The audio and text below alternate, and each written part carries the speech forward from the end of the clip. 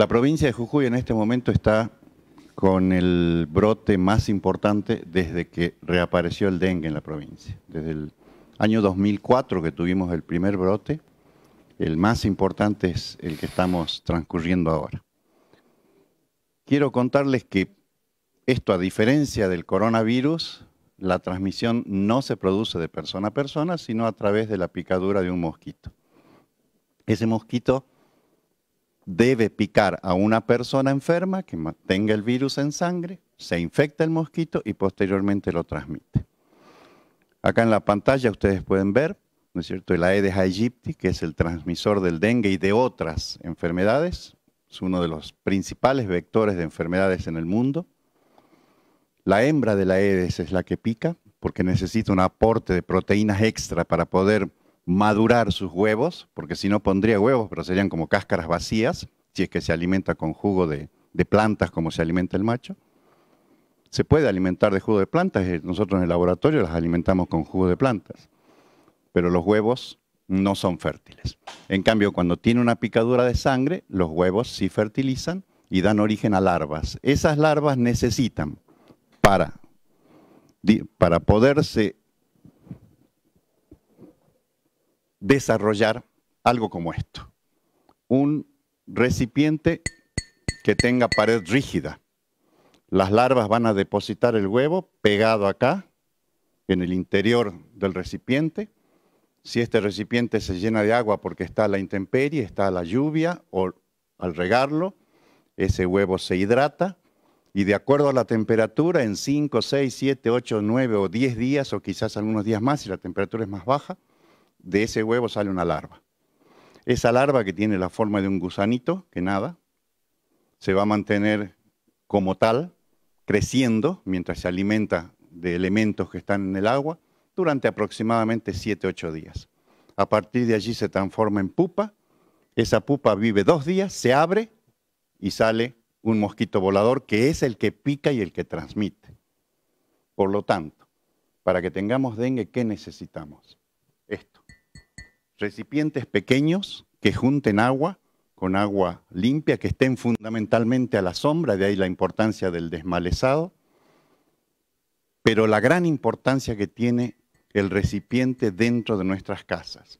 Y recipientes que junten agua en nuestras casas los tenemos a veces por cientos. Tarros, tarritos, botellas, descartables, una multitud de elementos. Si nosotros tenemos dengue es porque tenemos mosquitos y si tenemos mosquitos es porque tenemos recipientes que son criaderos.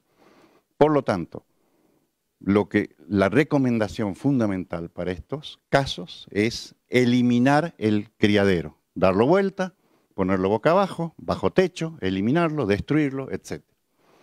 Pero ¿qué pasa? La gente espera de brazos cruzados a que venga el agente sanitario o el municipio a hacerlo. Y yo les quiero decir que no tenemos capacidad operativa para limpiar los elementos que junten agua de todas las casas de los habitantes del área de riesgo. Eso hay que hacerlo, lo tenemos que hacer todos y cada uno de nosotros en nuestra casa. Fíjense ustedes que si el 60% de la población cumpliera con esto, no tendríamos el problema. En este momento, hemos tenido un gran brote porque había mucha densidad de mosquitos. Entonces la gente por ahí me pregunta, lo que pasa es que no fumigan. A ver, es un mosquito volador el que transmite. Nosotros para matarlo necesitamos colocar el insecticida en forma de aerosol. ¿Cuánto creen que dura el aerosol en un ambiente, en el ambiente? Una hora, dos horas, no dura más. Tendríamos que fumigar dos o tres veces por día, todos los días. Probablemente no tendríamos muchos mosquitos pero eso sí, tendríamos toda la población intoxicada. Esto es un plaguicida, no es agua. Por lo tanto, hay que aplicarlo según normas y según normas que son estrictas, ¿no es cierto? Porque si no, podemos correr el riesgo de la intoxicación de la población. Pues bien, hemos tenido un brote grande con este mosquito que fíjense ustedes, está presente en toda el área tropical y subtropical del mundo. Acá está representada América nada más. La transmisión se produce entre los 18, entre los 34 grados, pero es óptima, ¿no es cierto? Esa transmisión cuando la temperatura está entre los 26 y 29 grados, o sea que nosotros caemos bastante justo para eso. Esta temperatura influye en la supervivencia, en la multiplicación de los mosquitos, en su desarrollo, en su reproducción, etc. Entonces, las regiones tropicales y subtropicales tienen las condiciones para que esto exista, ¿no es cierto? Pero las regiones templadas, ¿no es cierto? Generalmente no tienen más aedes que durante tres o cuatro meses del año. Sin embargo, el cambio climático está cambiando esto. Entonces, hace 15 años, nosotros, o 15 o 18 años, nosotros veíamos que en la zona del ramal de nuestra provincia teníamos el Aedes durante cuatro o cinco meses del año, después se cortaba durante tres o cuatro meses más, o cinco meses más, y reaparecía. Actualmente lo estamos encontrando casi todo el año. Entonces, ese es un tema que hay que tener presente. Lo que quiero remarcar, que este es el brote más grande que tuvimos en la provincia. Nosotros, esto, los casos varían de la mañana a la noche.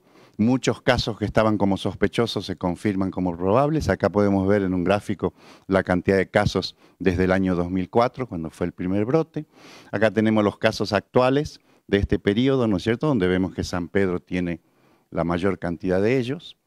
Acá vemos las zonas donde ocurre, fíjense el área roja, es el área donde existe mayor posibilidad de transmisión y mayor riesgo de transmisión, o sea que estamos hablando de los departamentos San Pedro, Ledesma, y este año el Carmen, que tuvo por primera vez Monterrico casos y por primera vez bastantes casos en Perico. Pero acá está nuestro problema, la persistencia de criaderos.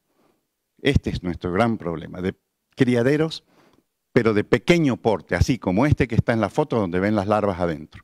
Entonces, lo que nosotros necesitamos es la colaboración de la población y aprovechar la cuarentena, que tenemos tiempo para eliminar todo aquello que junte agua en nuestras, en nuestras viviendas. Yo quiero recordarles que el camino del dengue tiene tres pasos. Al principio está todo bien, porque los casos son leves, empiezan a ocurrir casos graves posteriormente y empiezan a aparecer las muertes. Entonces, ¿qué estamos esperando? ¿Que aparezcan las muertes para actuar? Tenemos que hacerlo ahora. El próximo periodo estival, estival esperamos entrar en él con las casas sin criaderos de ADEP. Muchas gracias. Muchas gracias, doctor Carlos Ripoll, muy explícito. Espero que tengamos la conciencia, todos los jujeños, de hacer nuestro propio descacharrado, dar vuelta a todos los recipientes con agua estancada, desde las tapitas, macetas, cementerios, todo lo que usted tenga con, con agua estancada en su casa.